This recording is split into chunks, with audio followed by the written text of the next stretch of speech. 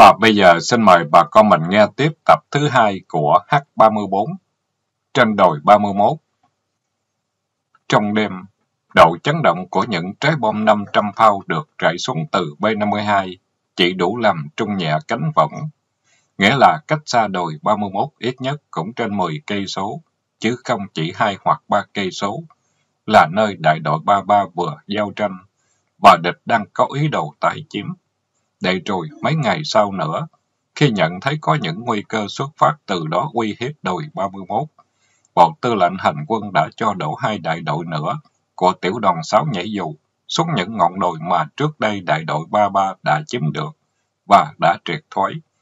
Với tình thế khác hẳn, ở đó địch đã trở lại với quân số nhiều hơn và đã dọn sẵn một trận địa pháo kích tập trung chính xác.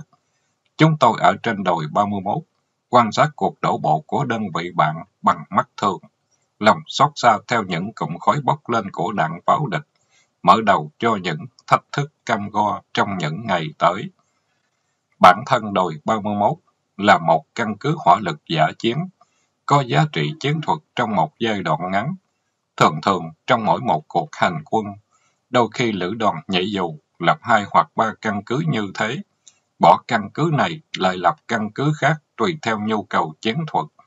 Do đó về phần công sự là những vật liệu tại chỗ, không có lấy một cuộn kẽm gai, không có bãi mìn ngoài những trái Claymore, như những vị trí đóng quân đêm bình thường. Lực lượng phòng thủ không bao giờ vượt qua một đại đội, không kể đại đội chỉ huy công vụ của tiểu đoàn. Có một phần quân số trong căn cứ, nhưng không có trách nhiệm phòng thủ. Đại đội 33, tiểu đoàn 3 nhảy dù, lui về đảm trách phòng thủ căn cứ, sau khi đã bị tiêu hao phần nào trong trận đánh ở ngoại vi đồi 31 với dưới 70 tay súng, nay phòng thủ một tuyến rộng lớn, bao gồm vị trí của pháo đội B3, tiểu đoàn 3 pháo binh nhảy dù, của pháo đội trưởng, đại quý Nguyễn Văn Đương, với 6 ụ pháo 105 ly, đồng thời phải bảo vệ bộ tư lệnh chỉ huy tiểu đoàn 3 nhảy dù và bộ chỉ huy lữ đoàn 3 nhảy dụ đang trú đóng trong căn cứ. Đó là tất cả lực lượng cố thủ đội 31, các đại đội 31, 32 và 34 đang hành quân lục soát bên ngoài, cách xa chừng 2 đến 3 cây số. Đại đội 3 trinh sát nhảy dù bố trí ở một vị trí khác bên ngoài vòng đai. Riêng trung đội của đồng, ngoài tuyến phòng thủ, được giao ở mặt bắc nhìn xuống một triền đồi thoai thoải. Còn có nhiệm vụ bảo vệ bãi trực thăng nằm chết bên ngoài cứ điểm, là một đơn vị tinh nhuệ nhảy dù. Đại đội 33 tự tin ở khả năng chiến đấu của đơn vị và đủ sức cố thủ cứ điểm trong thời gian cần thiết, chứ không phải lâu dài. Trước các cuộc tấn công cổ điển, tiền pháo kết hợp với đặc công đột kích, nếu được yểm trợ đầy đủ, hữu hiệu và kịp thời, từ không quân Việt Nam Cộng Hòa, không quân đồng minh, hỏa lực từ đồi 30, căn cứ hỏa lực A lưới, và quan trọng nhất là ngay chính từ đồi 31, pháo đội B3. Trận chiến đấu trên đồi 31 phải nói cho đúng. Trước hết là trận chiến của các chiến sĩ pháo binh nhảy dù. Phòng tuyến của trung đội 2 của đồng rất gần những vị trí pháo và cũng rất gần với bộ chỉ huy pháo đội, chỉ cách nhau một con đường nhỏ, bao quanh vị trí. Con đường gặp gần các bụi, nối với bãi tiếp tế bằng những chuyến xe GMC tới lui chở đạn và thực phẩm. Chiếc xe đó giờ đã nằm im bên sườn đồi, mình lỗ chỗ vết đạn. Hình ảnh những chiến sĩ pháo binh tả xung hậu đột giữa trận đối pháo, mang ký phách của một chàng dũng sĩ giữa trùng vây quân địch. Nòng súng vừa thoát bên đông đã hiệu chỉnh về Tây, vươn cao mạng Bắc rồi nhanh chóng ghim xuống phương Nam quanh quả tới lui tất bật giữa mưa pháo quân thù. Lực bất tòng tâm, trần thân trong nắng lửa, vẫn kiên cường trong trận xa luân chiến, không cân sức. Dù trên mình đã mang nhiều thương tích, không một ngôn từ nào diễn tả được hết nét kiêu hùng bất khuất đó của các pháo thủ pháo đội B3. Nón sắt trên đầu, áo giáp che thân. Những khuôn mặt căm đanh uất hận vươn theo nòng pháo, mà tiếng đạn rời nòng nào có khác tiếng gầm phẫn nộ của một chúa sơn lâm giữa bầy sói lang. Mức độ pháo kích của địch càng ngày càng dồn dập, Không kể những khẩu đội 82 ly tập trung dày đặc xung quanh căn cứ, thay phiên nhau suốt ngày, thì thục, mà pháo binh tầm xa của địch như 122 ly, 130 ly cơ động.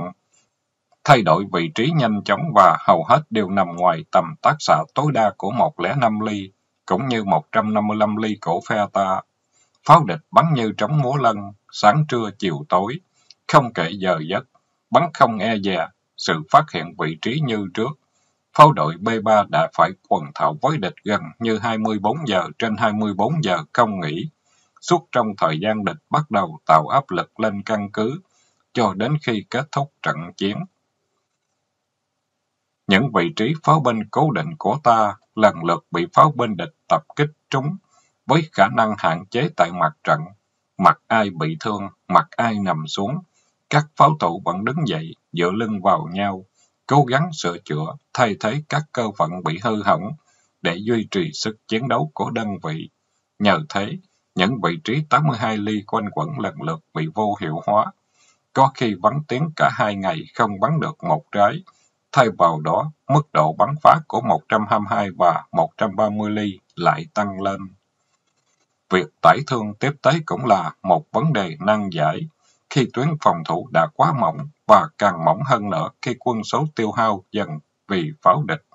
Không lần nào không có thương vong vì súng cối địch và ít nhất cũng đã có hai chiếc trực thăng vĩnh viễn nằm lại bãi đáp vì trúng đạn phòng không khi gần đến vị trí và một phi hành đoàn đang còn kẹt lại. Đó là những phi vụ trực thăng gan dạ khi mà lưới lửa phòng không đã phục sẵn trên các đường tiếp cận nhằm mục đích khóa chặt nẻo vào từ mọi hướng, thì chuyến bay các trực thăng của phe ta quả thật là vô cùng mạo hiểm, một đi không trở lại, tự như tráng sĩ Kinh Kha đã bao nhiêu lần những chiếc trực thăng đột ngột cất lên từ một lũng núi mù mù sương sớm, hoặc lướt nhanh trên ngọn cây, qua một đỉnh rừng, hay bay ngay bên thật xa để rồi luồn theo khe núi, đập thật nhanh xuống bãi, mang đến cho đồi 31 tất cả nhu cầu không thể thiếu của mặt trận, thậm chí luôn cả báo chí và thư riêng, như một chút hương yên bình quý báu từ hậu phương trên đất mẹ. Đây là thư đầu tiên cố phượng mà đồng nhận kể từ khi hành quân Lam Sơn 713.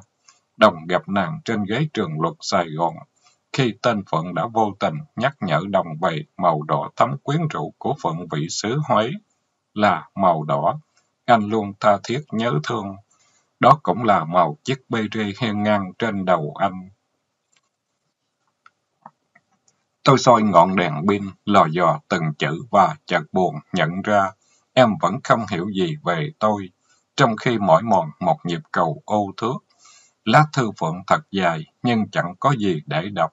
Kệ cho tôi làm gì những ồn ào phố thị, kệ cho tôi làm gì những khúc luân vũ đã làm mắt em say. Sài Gòn của em vẫn thế, và giảng đường của em vẫn thế. Em không nói bên chiếc ghế tôi ngồi đã có ai quấn quýt, nhưng tôi biết đó không còn là thế giới của tôi. Và chiến tranh dường như chưa bao giờ lai vãng với những tàn cây bốn mùa dâm mát. Không biết những tin tức từ mặt trận có làm sân trường đại học bất tươi màu áo, mà sau những vô tình của em và bạn bè đối với cuộc chiến, càng làm tôi xa cách vô cùng.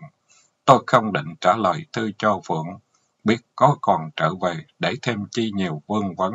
Những giọt nước mắt chính danh đã lan tràn trên đất nước, còn khơi thêm làm gì chút sầu muộn người dân.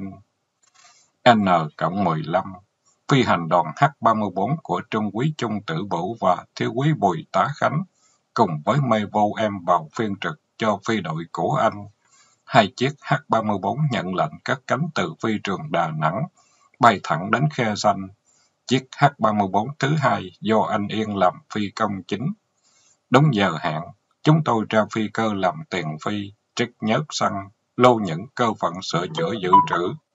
Đầu ngày và anh em kỹ thuật 219 rồi cất cánh, trực chỉ Đông Hà, Quảng Trị. Khoảng quá trưa thì chúng tôi ra đến khe xanh. Vừa đến nơi, trong màn ăn trưa vì nóng lòng muốn cứu đồng đội, nên chúng tôi quyết định phải vào ngay đồi 31, chứ không thể đợi lâu hơn được. Trong khi anh Vũ vào trình diễn với bộ chỉ huy tiền phương sư đoàn dù, Để đặt kế hoạch cho chuyến bay thì tôi và mê vô em đi check lại máy bay, xăng vẫn còn đầy bình trước, dư sức bay không cần phải refill. Một lát sau từ phòng briefing ra, anh bộ vắn tắt cho anh em biết về phi vụ quyết tử này. Chuyến vào chúng ta sẽ chở theo Thiếu Quý Vinh và một tiểu đội tác chiến điện tử dù của anh ta cùng với 18 chiếc máy sensor vào tăng phái cho căn cứ 31, dùng để phát giác đặc công địch. Chuyến ra sẽ rước phi hành đoàn của Trung úy Nguyễn Thanh Giang về. 15 phút trước khi lên vùng, pháo binh dù sẽ bắn dọn đường mở một hành lang dọc theo quốc lộ chính dọc vào những địa điểm được ghi nhận có phòng không địch. Vì tình hình lúc này rất gây cấn, địch tập trung lên đến cấp tiểu đoàn, phòng không gồm đủ loại từ 37 ly, 12 ly 8, và lần đầu tiên còn nghe đâu có cả SA-7 nữa. Vậy không trợ thì có hai chiếc kênh xếp của phi đoàn 213 do Trung quý tộc bay lít trước mở đường. Trước đó, trong lúc briefing, anh Bổ đã được nói chuyện trực tiếp với anh Giang từ trong đồi 31 và được biết ngày hôm qua khi bay vào vùng, anh Giang đã dùng chiến thuật lá vàng rơi từ trên cao cúp máy auto xoáy trung ốc xuống. Nhưng vì phòng không địch quá dày đặc, nên khi gần đến đất, phi cơ anh bị trúng đạn rớt xuống gãy đuôi nằm bên cạnh vòng rào phòng thủ ngoài cùng của lữ đoàn ba dù. Phi hành đoàn vô sự, chỉ có cô pilot là thiếu quý Võ Văn On bị xây sát nhẹ ở cổ. Tất cả chạy thoát được vào trong căn cứ dù. Nhưng trước khi bỏ phi cơ, mê vô Trần Hồng Sơn không quên vắt theo cả cây M60 trên cửa máy bay nữa. Trúc kinh nghiệm, hôm nay anh bổ bay race mode, sắc ngọn cây theo hướng đông tây đi vào. Trên đường bay dọc theo quốc lộ số 9, tôi còn nhìn thấy những cột khói bốc lên nghi ngút, chứng tỏ pháo binh dù bắn rất chính xác và hiệu quả. Gần đến landing zone, anh Vũ đổi hướng lấy cấp đông nam tây bắc để đáp xuống. Vừa ló ra khỏi rặng cây, tôi đã thấy chiếc gunship xếp của Trung quý Thục bay vòng lại, cùng với tiếng anh la lên trong máy. Bụt! Coi chừng phòng không ở hướng Tây. Từ trên phi cơ nhìn xuống, giữa màu xanh trùng đẹp của rừng cây nhiệt đới, ngọn đồi 31 đỏ quạch, nổi bật với những đống bụi đất tung lên từng cơn, vì đạn pháo kích quấy phá của cộng quân Bắc Việt. Không nào núng, anh bộ vẫn điềm tĩnh tiếp xúc đáp xuống. Khi phi cơ còn cách mặt đất độ 15 thước thì trúng một tràng đạn phòng không. Phi cơ phát hỏa bùng lên một đám khói bao trùm cả phi cơ. Mời vô em la khẩn cấp trong máy. Đáp xuống, đáp xuống anh bổ ơi, máy bay cháy. Cùng lúc anh bộ cũng cao tiếng báo động cho chiếc quyên đang bay cũng gần đó. Yên ơi, tao bị trúng đạn rồi, đừng xuống nữa. Trong khi vẫn bình tĩnh đáp xuống. May mắn là đạn trúng vào bình xăng phụ đã hết xăng, chỉ còn ít hơi đốt, nên phi cơ không bắt cháy như phi cơ đại quý an ở bù đốp hôm nào. Vừa chạm đất, theo phản xạ, tôi cùng anh Vũ nhanh tay tắt gió xăng, điện rồi nhảy ra khỏi phi cơ. Mọi người chạy ngược lên đồi về phía hàng rào phòng thủ thứ nhất của đại đội công vụ dù, cách khoảng 100 thước. Tôi còn tiếc chiếc sách tay quần áo nên phóng vào trong phi cơ đẩy lấy. Một cảnh thương tâm hiện ra trước mắt. Một binh sĩ dù bị trúng đạn ngay giữa trán, nằm ngửa chết ngay trên ghế. Trên sàn tàu, đóng máy sensor vẫn còn nguyên vẹn. Tôi chỉ kịp vớ lấy cái sách tay rồi phóng chạy lên đồi, theo những tiếng kêu gọi của binh sĩ dù. Trên đây nè thiếu quý, tụi tôi bắn hiểm trợ cho. Tôi lâm không chạy trong khi tiếng đạn nổ lóc chóc trên đầu. Lên đến nơi tôi thở như bò rống. Không quân mà hành quân dưới đất thì phải biết là mệt đến đâu. Tôi nhớ mãi hôm đó là ngày 22 tháng 2 năm 1971. Vừa ngồi nghỉ mệt, tôi vừa nhìn xuống bãi tải thương nơi chiếc phi cơ đang đậu hèn lành, thì cũng vừa lúc địch điều chỉnh tác xạ. Một quả đạn sống cối rơi trúng ngay tàu, nổ tung, bốc cháy. Khói đen mù mịt cả một góc trời. Tôi nhìn con tàu sụm xuống, lòng quặn lên. Con tàu thân thương đó đã gần gũi với mình lâu nay, giờ thành một đống sắt vụn. Một lát sau, theo chỉ dẫn của anh em binh sĩ dù, chúng tôi mang theo giao thông hào lần đến bộ chỉ huy lữ đoàn ba dù, gặp lại phi hành đoàn, anh Giang, On Sơn. Anh em chúng tôi mừng rỡ thăm hỏi nhau rối rít. chúng tôi được giới thiệu với các sĩ quan trong ban tham mưu lữ đoàn ba Đầu tiên là Đại tá Thọ lữ đoàn trưởng lữ đoàn ba Thiếu tá Đức trưởng ban ba Đại quý trụ phụ tá ban ba Đại quý nghĩa sĩ quan liên lạc không quân, Trung quý chính sĩ quan không trợ dù, Thiếu quý Long phụ tá ban hai về phía pháo binh thì có Trung tá Châu, tiểu đoàn trưởng tiểu đoàn 3 pháo binh dù và Đại quý Đào Văn Thương, trưởng ban 3 tiểu đoàn 3 pháo binh dù, Đại tá Thọ mừng anh em mới đến. Mỗi người một điếu Hava Tamba và một shot Hennessy để lấy lại tinh thần. Tôi ngạc nhiên vô cùng. Đi đánh giặc nằm ở tuyến đầu ác liệt vậy mà mấy ông nhảy dù vẫn thẳng nhiên hút xì gà Cuba và uống khô nhắc như mấy. Hoặc các sếp ăn chơi cũng dữ mà đánh giặc cũng chì thật.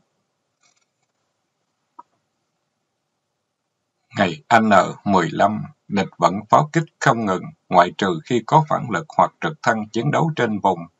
Hầu như mọi nơi trên đồi 31 đều trúng pháo. Có nơi trúng ba bốn lần, đất cày sâu lon lỗ, bụi đá văng tứ phía. Thật không rõ vì sao có người thì chết ngay khi lãnh trọn một quả vào ngay hầm mình. Người thì bị thương chưa kịp cứu, thì bị trúng thêm. Kẻ khác thì cũng mình lại như con cuốn chiếu, ôm đầu che tay Đôi khi che luôn cả mặt khi pháo rớt lia chia xung quanh hầm, thầm nghĩ không biết khi nào đến phiên mình. Ngày tháng cứ qua theo tầm bay lửa đạn, cả trăm trái pháo mỗi ngày băm nát ngọn đồi vô danh, bỗng chốc trở thành cõi chết. Cái chết cứ lần hồi gặm nhắm từ đông qua tây, từ nam lên bắc, từ những hầm hố kiên cố ở trung tâm cứ điểm, đến dậy chiến hào chỗ sâu chỗ cạn, bao bọc ngoại vi, Tất cả bỗng trở nên bình đẳng trước sức công phá dữ dội của đạn pháo. Mặt trận bỗng nhiên nghiêng hẳn về một phía. Chúng tôi ngồi đây ngày và đêm thúc thụ trước tiếng súng địch. Hàng ngũ cứ thưa dần, thà rằng cứ lao thẳng vào mũi súng, thà rằng đối mặt với quân thù, thà rằng chết trong tiếng hò reo xung trận. Có đâu cứ len lỏi mãi dưới hầm hào mà cũng chỉ chờ đợi cái chết. Chiều nay, Đồng đã nhìn thấy địch quân điều quân lui tới, qua lại thấp thoáng giữa bóng cây bên những triền núi xa xa, và biết đâu chừng đã mon men gần căn cứ. Tuy các đại đội bạn ở bên ngoài vẫn chưa có phát hiện nào về sự xuất hiện của địch, mọi việc vẫn phải làm thật nhanh và thận trọng, xuất phát, lục soát, trại quân. Công việc quá bình thường của một trung đội tác chiến, mà sau giờ này lại quá nặng nề, mà không nặng nề làm sao được khi quân số tiêu hao ngày một trông thấy. Trời Sài Gòn, đồng dẫn theo 26 thanh niên, mặt mày tươi như trên đường đi học, rồi lại còn được bổ sung thêm qua trực thăng tiếp liệu hai chàng lục tỉnh mới cáo cạnh, và Nghĩa, một chuẩn quý mới ra trường, vị chi là 29 móng. Nghĩa, người Sài Gòn, nhà đâu ở miệt Khánh Hội Hàm Tử, cũng có mẹ già và em gái, cũng mang cái hồn nhiên của tuổi trẻ vào mặt trận như ngày Đồng mới ra trường. Hồi đó, Đồng còn được may mắn học nghề với Trung Quý Dũng tại Ven Đô. Hành quân an nhàn quanh hãng bột ngọt, ăn Phú Đông, Tân Thới Hiệp, Nhị Bình. Sáng lai rai cà phê và pháo. Chiều về còn cốc với ổi đưa cây. Có đâu như nghĩa, dày trận còn bóng nếp quân trường, đã được ném ngay vào cõi chiến trường dữ dội. Tôi đã không còn dịp bàn giao trung đội cho Nghĩa như ngày nào Trung Quý Dũng đã giao trách nhiệm cho tôi. Nghĩa đã hy sinh không lâu sau đó. Chưa tới nửa tháng, trung đội chỉ còn lại 18 ngoe, kể cả tôi. Đã thêm hai cái chết đau đớn của binh nhất mão và tân binh xuất, cứ dai dẳng ám ảnh tôi. Gom góp nhặt nhạnh lại không đầy cái nón sắt. Đó là xác mão sau khi căn hầm của anh hấn chọn một trái công phá còn xuất thì cứ trào ra những bọng cơm sấy trọng lẫn máu, trong cơn hấp hối. Máu và cơm, cơm và máu lẫn với những bọt khí ào theo vết thương vỡ banh lồng ngực. Mảnh đạn như một lưỡi rìu phạt ngang người, khi anh ngồi bên miệng hầm nhìn băng qua những đỉnh núi. tay bóc từng bọng gạo sấy thảy vào miệng. Tôi cũng ngồi kết xuất năm vị trí trong cùng một phiên gác chiều và chỉ kịp la lên. Xuống hầm, pháo kích! nhưng không còn kịp nữa, có lẽ tiếng gạo sấy khô khan vỡ rào rào trong miệng, đã làm xuất không nghe được tiếng pháo địch trời nồng. Viên đạn quá tầm rơi ngoài sườn đồi, lại tai quái gửi ngược về một mảnh lớn nhất. Khi chúng tôi đến thì xuất đã như thế, môi anh còn mấp máy điều gì. Tôi đã cố cúi sát người để chỉ nghe thiều thào hình như tiếng mẹ ơi và xuất đi hẳn. Số bị thương mỗi ngày gia tăng, dàn hạ sĩ quan chỉ còn lại thượng sĩ đàn và trung sĩ Yến. Tôi kể như giảm cấp số làm tiểu đội trưởng, chỉ huy một tiểu đội khinh binh và một tiểu đội hỏa lực, mà nào phải chỉ trung đội chúng tôi. Hai trung đội kia cũng lâm vào tình trạng tương tự, giật gấu vai cũng không đủ quân để trải kính tuyến phòng thủ, vốn dĩ được thiết lập cho một đại đội mạnh, đầy đủ quân số. Một tuyến dài như thế lại phải duy trì ba vọng gác đêm, hai vọng gác ngày, chia điều chi mỗi người cũng ôm được 5 tiếng mỗi ngày trực gác. Kể cả tôi cũng chia sẻ 3 giờ đốc canh ca thứ nhất. Trong tình trạng căng thẳng kéo dài, mặt mày ai nấy hốc hác thấy rõ. Đồng không dám nói thay những người lính của mình, nhưng anh hiểu họ, hiểu nỗi lo âu căng thẳng mà tất cả cùng chia sẻ. Như anh chàng ngọt đó, giữa lúc đạn pháo ầm ĩ trải trên trận tuyến, bỗng nhiên Hắn ta nhảy vọt lên nóc hầm tột văn quần chĩa cu ra phía trước, miệng la lớn một hơi dài như tiếng hú của một con thú bị thương. Yến phải liều mạng nhảy lên cặp cổ lôi xuống. Chúng tôi gần như ai cũng đang chạm dây như thế, mà có lẽ sự nổ bùng của chiến trận là liều thuốc cuối cùng để giải thoát, sự giải thoát tận cùng trên hai nghĩa trắng đen trần trụi. Mọi người đều biết được lực lượng của địch không còn xa căn cứ, và có lẽ họ đang ở lại tuyến xuất phát để chờ đợi giờ rê, khi mà mọi tần số trên máy truyền tin đều tràn ngập ngôn ngữ xa lạ của quân thù. Trước mặt đồi 31 có một hẻm núi, từ trên đồi nhìn xuống chỉ nhận biết con người từ sự di động. Nếu anh ta đứng yên thì không thể nhìn thấy. Hẻm núi có một khoảng trống giữa hai lùm cây rậm rạp. Thế là địch chơi trò cân não. Không kể ban đêm là lúc chúng tôi không thể quan sát, còn ban ngày, có mặt trời lên là có người băng qua khoảng trống đó. Mặc kệ, không biết bao nhiêu bom đạn được điều chỉnh chính xác xuống mục tiêu. Dứt tiếng súng là có người băng qua. Dòng người cứ tưởng như bất tận. Rồi đêm đêm, từng vệt đèn và tiếng động ầm ĩ của chiến xa dội lên căn cứ. Dội lên mỗi người lính nỗi lo âu thật sự về khả năng chống chiến xa của đơn vị khi mà những trái M72 chưa một lần chứng minh hiệu quả trước vỏ thép của xe tăng, và khi mà cả căn cứ đã trần trụi, ngon lành, như một đùi thịt nướng, sau các trận pháo kích liên tục của đối phương, chúng tôi không có lấy một chướng ngại vật, không có lấy một hàng rào kẽm gai, hay một cháy mình chống chiến xa để an lòng phần nào lực lượng phòng thủ. Và chúng tôi cũng chẳng phải chờ đợi lâu hơn nữa. Mấy ngày sau, cuộc tấn công thật sự đã bùng lên trước khi ngày chưa đứng bóng. N cộng 15, phi đoàn 219 đã được báo cáo đầy đủ về chiếc H-34 thứ hai của Trung Quý Vũ, cùng chung số phận với chiếc H-34 đầu tiên của Trung Quý Giang trước trên đồi 31, với hai phi hành đoàn nằm ủ tại nơi này. Buổi chiều cùng ngày, vùng rừng núi trời tối thật nhanh, Chúng tôi dùng tạm bữa cơm giả chiến với ban tham mưu lữ đoàn rồi chia nhau ngủ ké với anh em dù. Tôi được ngủ chung một hầm với anh Nguyễn Quốc Trụ, một sĩ quan trẻ xuất thân khóa 20 trường võ bị Đà Lạt. Anh cũng là anh ruột của Trung quý Nguyễn Hải Hoàng, một hoa tiêu chánh trong phi đoàn tôi. Tin tức chiến sự mỗi ngày một căng thẳng hơn, vì đối với Cộng sản Bắc Việt, sự hiện diện của căn cứ 31 trên hệ thống đường mòn Hồ Chí Minh như một lưỡi dao đâm thẳng vào yết hầu của chúng. Vì thế cộng quân đưa thêm quân vào, tạo áp lực nặng nề lên căn cứ 31, với ý định đánh bật căn cứ này ra khỏi sinh lộ của chúng. Hai hôm sau, vẫn không có chuyến bay tiếp tế nào vào được vì địch quân luôn di động dàn phòng không của chúng, khiến không quân Việt Nam và Hoa Kỳ không phát huy được ưu thế của mình.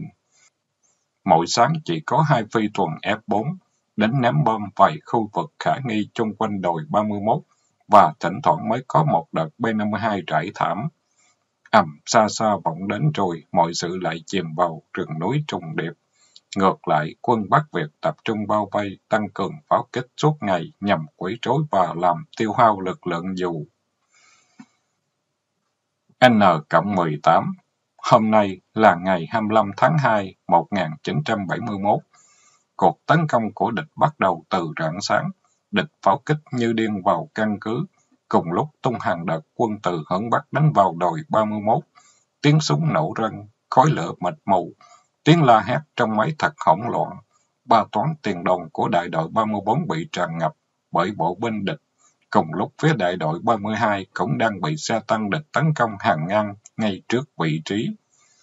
Các đại đội ngoại vi thúc thủ trước quân số quá đông đảo của đối phương, trong khi còn phải chật vật đối phó với chiến xa đang tràn lên như chỗ không người, nên đại đội 32 được lệnh rút nhanh về căn cứ 31 để bảo toàn lực lượng trên đại đội 34 trút về chân đồi phía đông. Thế nhưng, trước khi đại đội 32 về đánh căn cứ, thì chiến xa địch đã lẫm ngỗng bò lên vị trí của môn và phần việc của trung đội 2, đại đội 33 của đồng đã tới. Tôi nhìn thấy tổ tiền đồng bắn trúng đích một chiếc, cụm lửa vàng khè lóe lên, phụ trùm khói đen trên mục tiêu. Khói tan, chúng tôi tưởng như nằm mơ. Chiếc xe tăng vẫn chậm rãi tiến tới. Nòng đại bác trên chiến xa vẫn khạc lửa dữ dội vào tuyến phòng thủ căn cứ. Môn cố gắng bắn thêm hai trái nữa, vẫn vô hiệu. Anh sách súng dẫn đồng đội lăn xuống triền đồi, khi thêm sáu chiếc tăng nữa cùng với bộ bên địch, hò hét áp đảo tràn lên vị trí. Chúng tôi hướng tất cả hỏa lực bắn che cho môn, và một vài toán của đại đội 32 trút về căn cứ. Cùng lúc đó, hai chiến đấu cơ A4 Skyhawk và một phi cơ tuần trực thăng võ trang Cobra của Mỹ xuất hiện, quanh tạc mạnh mẽ vào đội hình tấn công của địch. Tập thứ hai đến đây chấm dứt. Xin mời bà con mình nghe tiếp tập thứ ba.